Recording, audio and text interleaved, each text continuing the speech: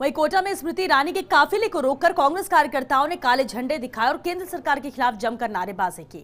दरअसल कांग्रेस लगातार gas cylinder के बढ़े दामों के खिलाफ प्रदर्शन कर रही है और इसका विरोध जता रही है। वहीं काले झंडे दिखाने वाले कांग्रेस कार्यकर्ताओं को पुलिस ने गिरफ़्तार कर लिया। आईएल कॉलोनी के पास में कुछ युवा कार्यकर्ता थे, उनके द्वारा विरोध प्रदर्शन किया जा रहा था, जिनको ये कहा था शांतिपूर्वक विरोध प्रदर्शन करें।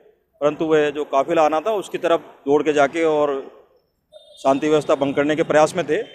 इस पर उनको यहाँ से डिस्पर्जल के लिए, यहाँ से डिटेन करके यहाँ से बसों में रवाना किया गया है।